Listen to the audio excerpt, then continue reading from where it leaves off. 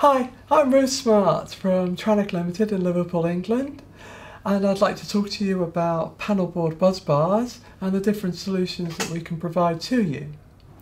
So on the table in front of me I've got a range of bus bars that we've made at different times for different customers.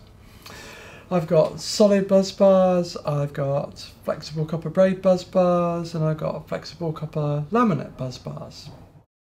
So for a solid bus bar like this, which would be used in a distribution board connecting earthing systems or molded case circuit breakers or other forms of electrical equipment, or up to this sort of copper bus bar, um, which would be used for, say, connecting um, ACBs or transformers or motors or these big power distribution uh, bus bars that would be used, for example, on bus ducts. These are very efficient, but they're not flexible. If there is any mistake made in the bends or the angles or the twists, they won't fit. If the equipment that these are connecting with are out of position, they won't fit. And you need workshop equipment to be able to modify them to fit. So what we provide is a range of flexible copper bus bars. So for example, this unit here is made from tin plated copper braid. And what that means is that I can bend it by hand, I can twist it by hand, and this gives you a great deal of flexibility in terms of how you connect bits of equipment within the panel board. This is available in a range of sizes.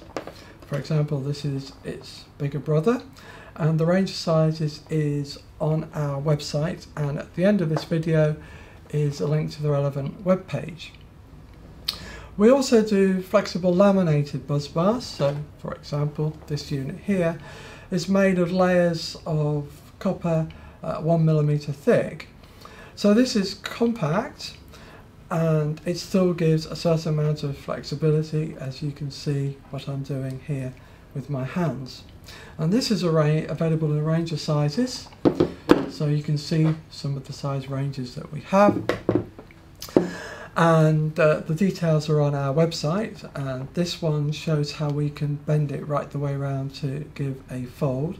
And this is really useful for forming the bus bar around piece of equipment that's in the panel board. Size wise, we go right up to full bus duct connections such as this and you can see and I do that with my hands that there is a certain amount of flexibility uh, in addition to slotting the holes at this end.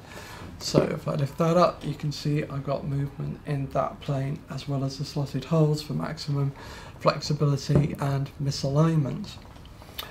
So if any of this is of interest to you please don't hesitate to give uh, me and my staff a call at our office in Liverpool. Contact details at the end of this video. Thank you for your attention.